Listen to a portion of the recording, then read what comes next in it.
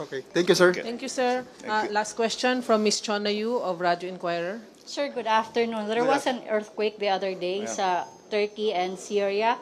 Ano pong tulong ang ibibigay ng Pilipinas? And also, sir, uh, yesterday there was an appointment of 77 military officers, and this is the first in three years.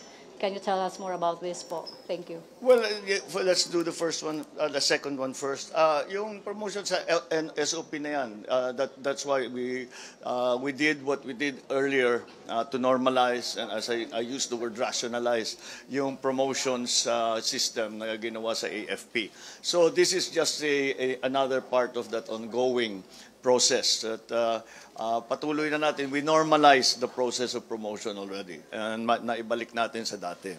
Uh, in, on, the, on, the, on your question on Turkey, I have been in coordination with, of course, the SND and the MMDA uh, dahil silang handa pala na para makapagpadala ng mga assets sa uh, ibang bansa. We have organized a group of about 85 uh, personnel uh, together with uh, some uh, uh, goods. Uh, ang, ang hinahanap sa atin ay mga blanket, mga winter clothing dahil siyempre uh, yung mga nasiraan ng bahay sa, uh, sa Turkey ay wala na silang matirahan, they're exposed, so they need all of these things. So we are organizing it already, um, and I already have uh, uh, the assurance also of uh, the Turkish Airways that they will be the ones to bring our people and our equipment and our goods to, uh, I suppose, to Ankara first, and then to be distributed properly uh, in Turkey.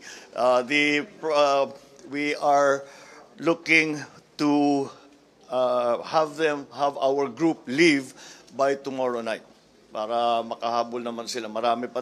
Meron, there's also a danger kasi marami pang aftershock.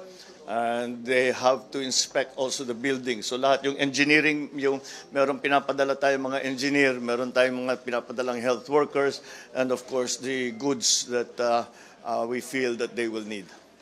Thank you, Mr. President. Thank Alright. you, Malacanang Maraming Press Corps. salamat. Thank you.